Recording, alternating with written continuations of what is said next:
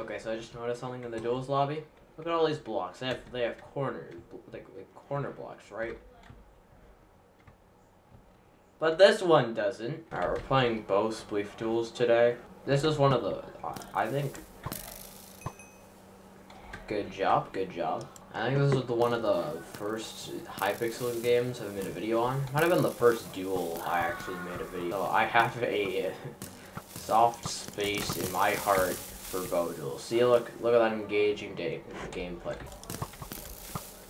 And he's just back up. You know, this game is really fun, not ruined by double jump. I think I, I think that's what I enjoy about the game. It's the longevity of bow Spleef duels. See, it's really fun watching this. And now I get to now I get to finally double jump my way back up from the dead. This is engaging gameplay.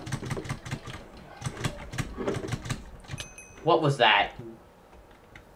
Ooh.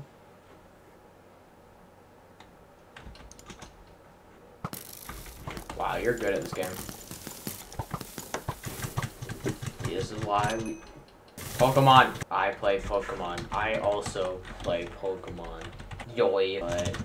And my broke. This is Shiny Magneton lore, by the way. This will be on the test. This is why I played uh, bow Spleef Duels. It's really about the community and having a warm relationship with those around you. Anyway, we're gonna destroy this guy. Ooh, must have been the wind. Ooh, it's getting windy around here.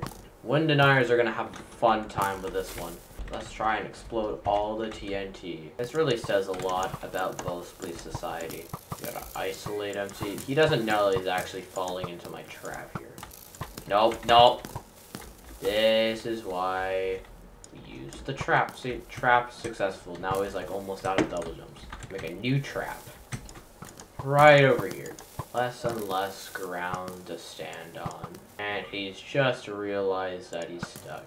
Now you might be asking, well, why don't I just shoot him here and betray him? But you know what? What if it's Mr. Beast disguising himself as, um, what's your name? CJ Pixelotl 108.